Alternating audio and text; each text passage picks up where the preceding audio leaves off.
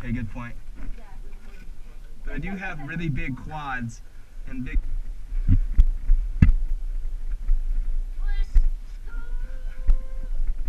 Actually, all I have to do, all I have to do is cry. Because I'm being birthed. I'm not. Actually, that would work out good for the pole class.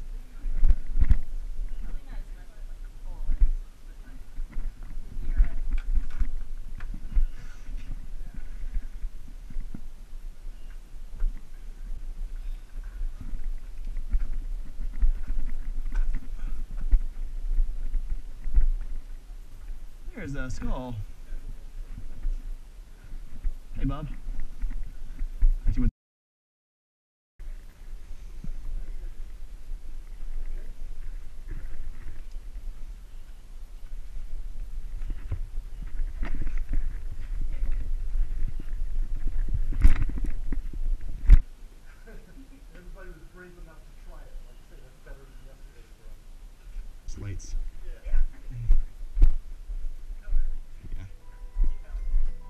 No, they're obviously obviously powered by um, dwarven crystals.